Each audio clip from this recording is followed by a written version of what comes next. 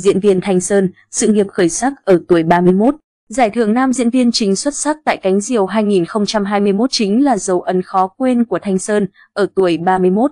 Diễn viên Thanh Sơn sinh năm 1991 trong gia đình không ai làm nghệ thuật. Tuy nhiên Thanh Sơn lại có niềm đam mê mãnh liệt với nghề diễn và theo đuổi từ khi học lớp 11, khác với sự lo lắng ban đầu của Thanh Sơn. Anh được bố mẹ ủng hộ và động viên anh theo đuổi mơ ước. Chính vì thế mà nam diễn viên có thêm động lực và thi đỗ thủ khoa trường Đại học Sân khấu Điện ảnh, Hà Nội. Ra trường, Thanh Sơn công tác tại nhà hát tuổi trẻ và miệt mài công hiến cho đến nay.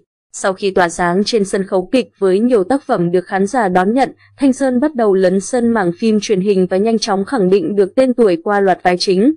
Thứ chính trong các phim đình đám như Tình yêu và tham vọng, Đừng bắt em phải quên, Nàng dâu Order, Chạm tay vào nỗi nhớ, Cả một đời ân oán.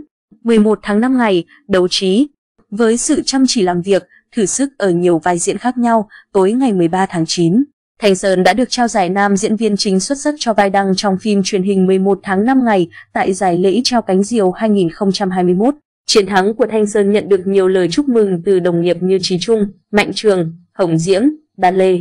Thành công nối tiếp thành công mới đây, VTV Award 2022 đã hé lộ danh sách đề cử hạng mục và Thanh Sơn lại có tên ở hạng mục diễn viên nam ấn tượng. Không chỉ tạo được dấu ấn bởi khả năng diễn xuất, Thanh Sơn còn sở hữu vẻ ngoài soái ca với chiều cao 1m72 cùng gương mặt điển trai cuốn hút. Chính vì thế mà nhiều người ái mộ đã gọi Thanh Sơn là nam thần của màn ảnh Việt. Sở hữu chiều cao 1m72 và làn da sáng, khỏe nên Thanh Sơn có thể cân được suốt nhiều màu sắc. Trong nhiều năm làm nghề, Thanh Sơn kín tiếng chuyện đời tư. Tuy nhiên vì quá kín tiếng nên xuất hiện những tin đồn không chính xác. Chính vì thế mà nam diễn viên đã từng phải lên tiếng chia sẻ một lần về cuộc sống cá nhân của mình. Theo nam diễn viên kể, anh từng kết hôn ở tuổi 25 với bạn gái gắn bó 3 năm. Tuy nhiên vì một vài lý do nên Thanh Sơn và vợ đã chia tay trong hòa thuận. Cả hai cùng chăm sóc con chung. Hiện tại, nam diễn viên dành phần lớn thời gian cho công việc diễn xuất, tham gia đóng quảng cáo, làm mẫu ảnh.